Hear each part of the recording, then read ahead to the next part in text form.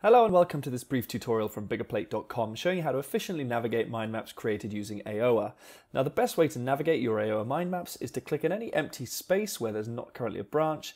If you click and drag you'll see you can pull the screen around like so. You can also use the arrow keys to move in between your branches so if I click over here this left hand side, the building your map branch, and then use the right arrow key I can jump across and jump between different branches.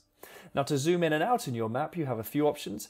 If your computer supports it, you may find that you're able to use some mouse or trackpad functionality, so mouse wheels, or for example, I'm using a trackpad on a Mac, therefore I can use two fingers, and if I scroll up or down, it'll zoom in or zoom out.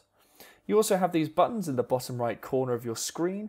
The plus button will obviously zoom in, while the minus will zoom out.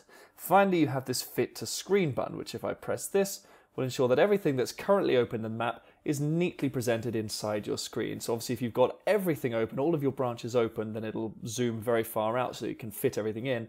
But it's just a nice way of seeing everything that's currently open neatly within your screen. Another useful way to navigate your maps is to use the search functionality up here. So if we click on this little magnifying glass, you'll see you get a search bar there and currently it's set to search everywhere, which means whatever I type into this search bar, it'll search for it in all of my Ayoa mind maps. For the purposes of this exercise, I'm going to select this option, which means it'll only search within this mind map. And if, for example, I type in search, it'll show a list form of any branches that contain the word search. There's only one here, so if I click on that, you'll see it highlights it down there. Now, it's not particularly useful in this exercise because we haven't got a very densely populated mind map, but you can imagine if you had a vast mind map with a lot of information in it, and you knew exactly what you were looking for but not sure where to find it, you can use the search functionality to help you locate it within your map.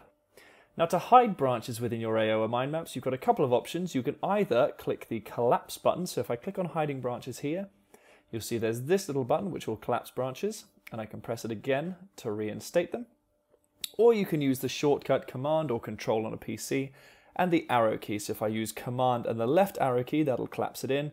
Command and the right arrow key will open it out again.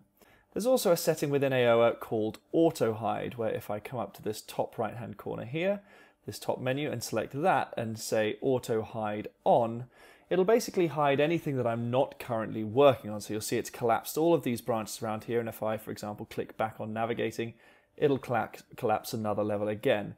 So it's basically just a useful way of keeping your mind map very, very clean and only showing the information that you're currently working on. Hopefully that's all you need to efficiently navigate your Ayoa mind maps. For more Ayoa templates, tutorials and training, visit biggerplate.com.